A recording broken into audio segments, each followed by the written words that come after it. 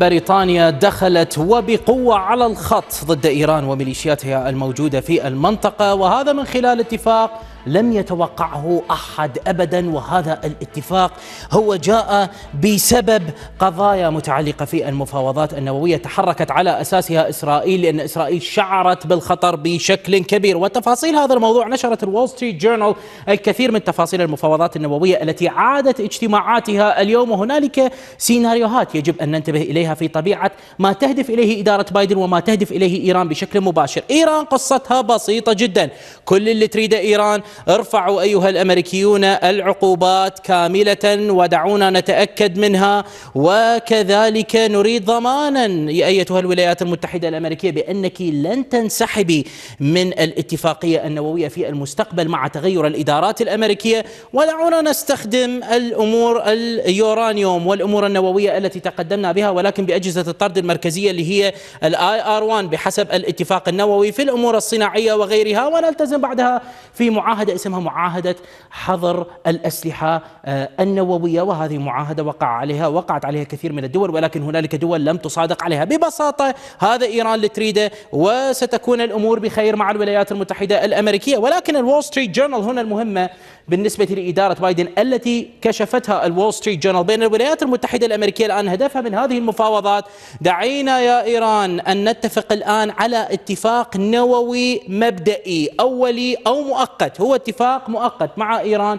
ببساطة يا إيران التزمي قليلا في طبيعة تخصيب اليورانيوم اللي أنت دا تسويه الآن 60% انخفضي قليلا يعني ممكن أن تنخفضي إلى 20% أو 10% بحسب هذا الاتفاق المؤقت اللي لحد الآن بنسبة 60% يجب أن ننتبه لحد الآن إيران تمتلك بحسب رئيس هيئة الطاقة الذرية الإيرانية صار عندهم إنتاج 30 كيلو جرام من عملية تخصيب اليورانيوم اللي هي تصير بنسبة 60% نسبة كبيرة جدا 30 كيلو جرام كمية كبيرة جدا من اليورانيوم بهذه النسبة يدخل في الأمور التسليحية بشكل مباشر. فبالتالي يا إيران التزمي بهذا الموضوع بهذا الشكل وسنرفع عنك العقوبات بعض العقوبات اللي هي مفروضة عليك. وبعدها نعود آه، ونتفق بعد هذا الاتفاق المؤقت على اتفاق دائمي وكبير وأفضل لكل الأطراف وللجميع. يرضي أوروبا يرضي الولايات المتحدة الأمريكية ويرضي إيران، فبالتالي هي الاتفاقية بهذه البساطة التي تبحث عنها إدارة بايدن، ولكن المشكلة الحقيقية هنا بالنسبة لإسرائيل هي متعلقة بطبيعة هذه العقوبات اللي يريدون يرفعوها من ضمن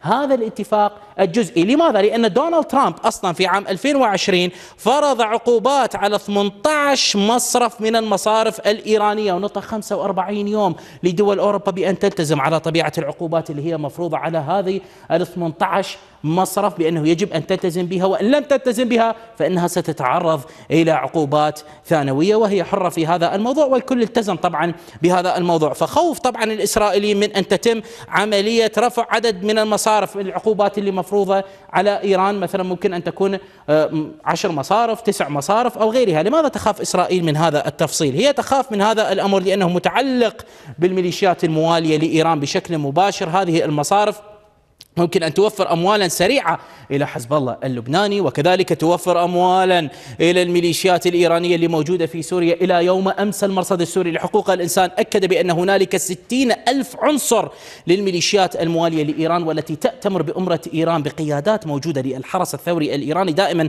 تدخل من العراق تأتي بطائرات مباشرة من إيران إلى الداخل آه، الإيراني. ينقلون الكثير من هذه التفاصيل المتعلقة بهم على غرب نهر الفرات وحتى على مستويات عميقة حقيقة حتى على الجولان هم موجودين بهذه الأطراف خاصة حزب الله اللبناني.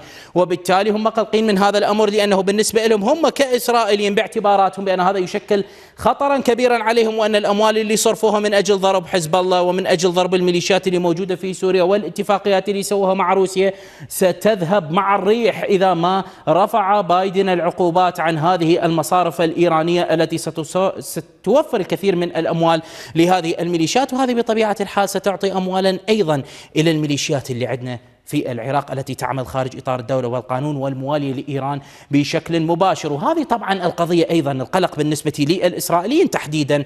ولماذا تحركوا على هذا الموضوع مع البريطانيين؟ بأنهم هم قلقون بأن هذا سيفتح فرصة بالنسبة لإيران أنه خلص اتفق العالم مع إيران وهي ممكن أن تسير إلى القنبلة النووية بشكل سري وبالشكل اللي تريده لأن الإسرائيليين يعتقدون حتى لو الإيرانيين عادوا إلى الاتفاقية النووية فالإيرانيين سيستمرون في هذه العملية وسيتوجهون إلى القنبلة النووية. وسيصلون إليها ممكن خلال خمسة سنوات بحسب ما قاله نفتالي بنت رئيس الوزراء الإسرائيلي. وكذلك بأن النقطة الأساسية بالنسبة للإيرانيين هم يعرفون تماما بأن الإيرانيين قريبين على القنبلة النووية في ظل هذا الاتفاق المتوقع اللي ممكن أن يحدث. ولكن هم يعلمون بحسب تفاصيل نشرها أحد المسؤولين الإسرائيليين آه الذي لم يذكر اسمه إلى جروزلم بوست مؤخرا بأنه لحد الآن عندهم مشكلة الإيرانيين يحتاجون لمدة سنتين من الآن حتى يخلون الرؤوس النووية إذا ما صنعوا القنبلة النووية على الصواريخ البالستية. والمشكلة واللي يزيد الطين بلة على الإسرائيليين وحتى على الأوروبيين الآن. وهذه التحركات التي نتحدث عنها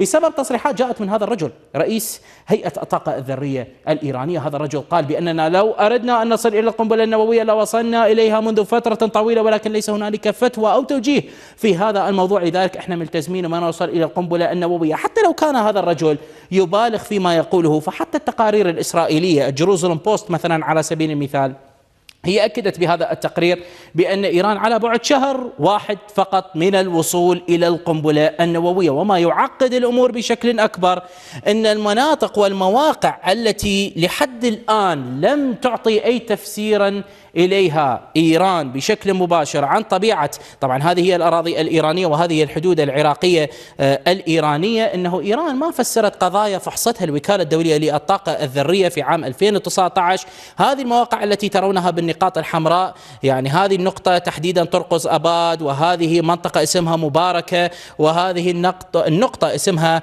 أبدا. هذه طبعا النقاط هي مناطق سرية كانت إيران تقوم بها بنشاطات نووية الوكالة الدولية للطاقة الذرية اكتشفت بأن هنالك جزيئات لليورانيوم في هذه النقاط. سألوا الإيرانيين على هذه القصة. تعالوا يا إيرانيين ما الذي كنتم تفعلونه في هذه النقاط وفي هذه المواقع اللي أنتم المفروض ما تخصبون بها يورانيوم أو يكون عندكم أي نشاط نووي فيها؟ لم تجب إيران على هذا الموضوع. فالإسرائيليين هم يشوفون بأن هذه المواقع السرية التي اكتشفت من الوكالة الدولية للطاقة الذرية بسبب الأرشيف النووي اللي أخذوه الإسرائيليين في عام 2018 دا يشوفون بأن هذه ستسبب مشكلة حقيقية وأنه هذه أصلا ما موجودة على طاولة المفاوضات التي تجري الآن وممكن أن تسير الأمور كما تريد آه، إيران بهذا الاتجاه. وطبعا هذه القضية هي التي دفعت وزير الخارجية الإسرائيلي يائير لابيد بالتحرك بشكل سريع إلى بريطانيا وإلى فرنسا. المفروض هو يكون اليوم في فرنسا من أجل عقد اتفاقيات لوضع المعرقلات الكافية وضع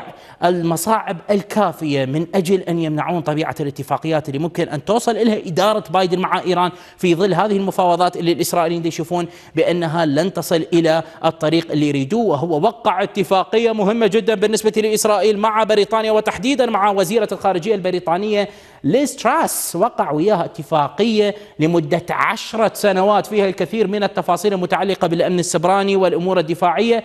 ليس هذا فحسب بل أنه حصل منها على تعهد في مواجهة إيران النووية وهذا ما ثبتته طبعا التلغراف البريطانية. شوف شنو اللي قالته تعهدت ليز تراس البريطانية ويائير لابيد الإسرائيلي بالعمل ليل نهار لمنع النظام الإيراني من أن يصبح قوة نووية. ليس هذا فحسب بل أن تايمز اوف إسرائيل أكدت أيضا بأن زيارة يائير لابيد إلى بريطانيا وإلى فرنسا هي تأتي لمنع أي عملية رفع للعقوبات على طبيعة المصارف الإيرانية التي تحدثنا عنها من أجل عدم توفير الأموال للميليشيات في المنطقة مما يسبب تهديدات بالنسبة لهم هم كإسرائيليين وهذا اللي ثبتته طبعا التايمز أوف إسرائيل.